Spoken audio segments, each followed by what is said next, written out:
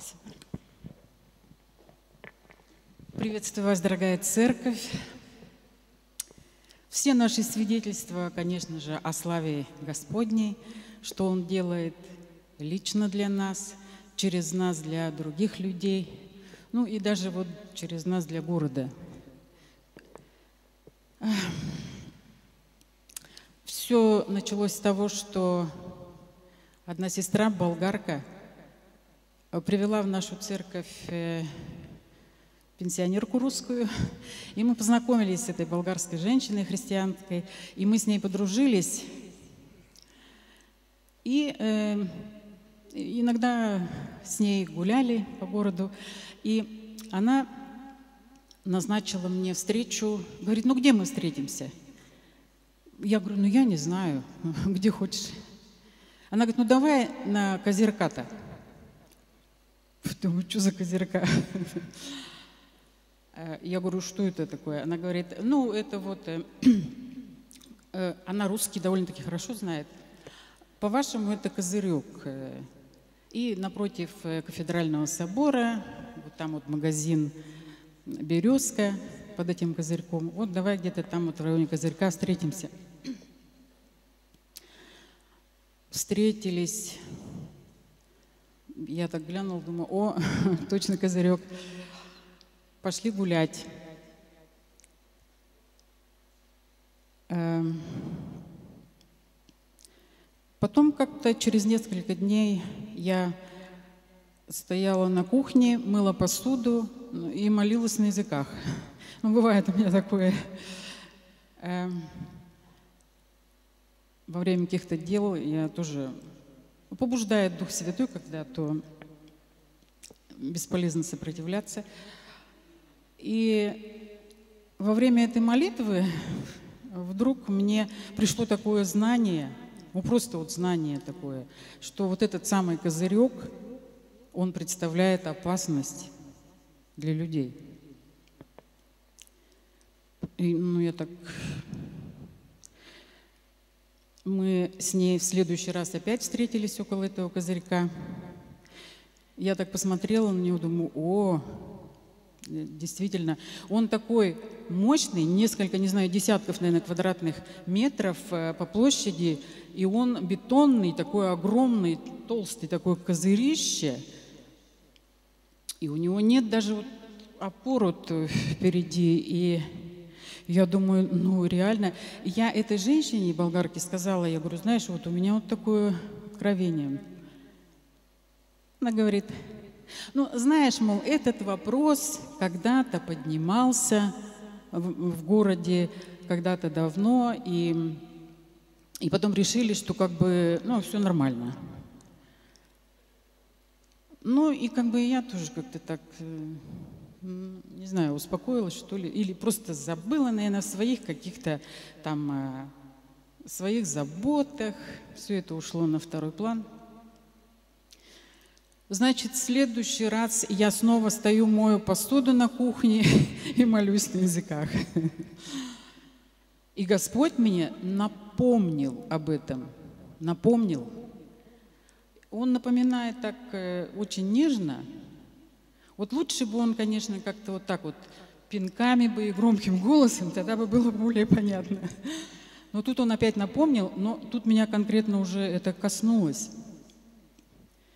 И, и так сильно коснулось, что я буквально в тряске уже в каком-то в таком этом. Думаю, если этот козырек, не дай бог, рухнет, я буду виновата, если кто там погибнет – и я срочно включаю компьютер и включаю онлайн-переводчик и давай писать заявление в администрацию, вот в общину Варна, на, на мэра э, города Варна Ивана Портных. И я написала на болгарском это заявление – и я буквально, ну, скорее, скорее бегом, потому что меня уже просто вот так вот двигало и трясло.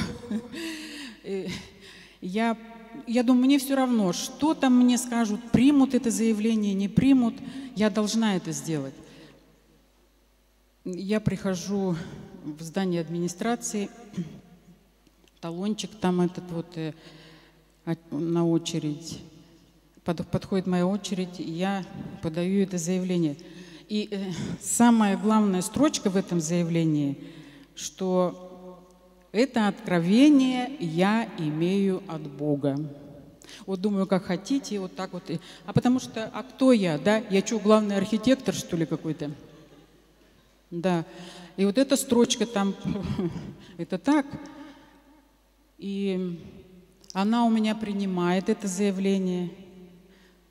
Еще говорит там, напишите молба-сигнал. Приняла она этот сигнал, дала мне квиточек такой. Ну, я еще тут не приминула ей молитву покаяния. Подарила, на бумажечке у меня есть. Вот, ну и все как бы на этом. Я, я выхожу оттуда такая свободная, у меня такая гора с плеч свалилась. Проходит несколько дней, я уже про это забыла, дело сделано. И мне приходит э, извещение, что меня ожидает письмо на почте. И, кстати говоря, первое, первое извещение, как-то где-то оно пропало, и я э, не вовремя получила вот это письмо. Э, это письмо, ну, как бы копия мне была отправлена. Э, тут все на болгарском. Короче говоря, вот мэр города передал это письмо директору на дирекцию инженерной инфраструктуры и благоустрояване Петр Гырбузов. Он, э, значит, в свою очередь э, собрал комиссию вот, э, из КМЕТа на район Одессас, где находится этот козырек – до директор на дирекции, на дирекции АГУП – это архитектура, градостроительство и устройственное планирование. Еще, значит, директор на дирекции ОСИЦ – это общинская собственность, экономика и деятельность, стопанские деятельности. Короче говоря, до господин Цветан Атанасов, это, видимо, он имеет какую-то часть собственности под этим козырьком – это, я посмотрела в интернете, это он владеет э, ретро, музеем ретро-автомобилей, и также у него музей восковых фигур, очень состоятельный человек, и что-то у него под этим козырьком какая-то есть недвижимость, видимо. Ну вот и копия вот мне, госпожи Татьяна Тюлькова. Э, ну, я, э, а, что значит, э, он, они, эта комиссия должна была собраться 26 июня 2018 года в 10 часов для осмотра вот по этому заявлению этого козырька и принять какое-то решение. Я, конечно, была очень счастлива, получив это письмо, просто, ну, до слез, наверное, что и, и, и очень и так это здорово, да, вот, ребята, вот в какую страну мы, Господь нас привел, да? Здесь власти, ну, не крутят у виска, когда им приходит вот такое вот заявление, да, что я имею откровение от Бога. А они собирают комиссию, и они начинают действовать. Слава Господу. И, и слава Господу за то, что вот Он так вот заботится о жителях города Варна.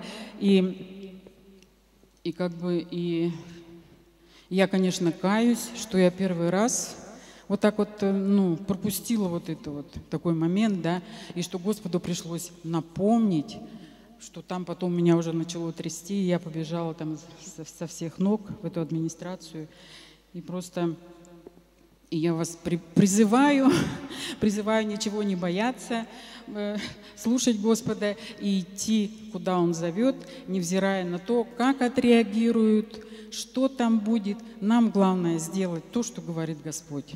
Слава Господу. Спасибо.